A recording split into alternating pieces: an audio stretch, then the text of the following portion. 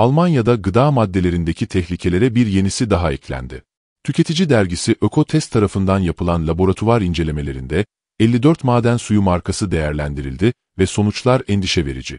İncelemeler sonucunda yalnızca 26 marka iyi not alabilirken, 14 maden suyunda böcek ilacı kalıntıları, nikel, bor ve hatta bir markada uranyum izleri tespit edildi. Ökotest'in test sonuçlarına göre, uranyum izleri tespit edilen marka Bad Durheimer Classic isimli organik maden suyu oldu.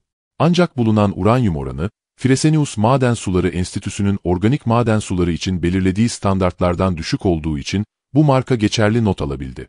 Diğer yandan, bebek mamaları içinde kullanılan bazı markalarda da pestisit kalıntıları bulundu. Örneğin, Magnus Classic, Forstina Sprudel Premium Spritzig, Justus Brunnen Spritzig ve Alasia Spritzig gibi markalarda yüksek oranda böcek ilacı tespit edildi. Bu bulgular, maden sularının güvenilirliği konusunda tüketiciler arasında ciddi endişelere yol açtı. Tüketiciler, su markalarını seçerken daha dikkatli olmaları gerektiği konusunda uyarıldı. Ökotest'in raporu, gıda güvenliği ve halk sağlığı açısından önemli bir uyarı niteliğinde.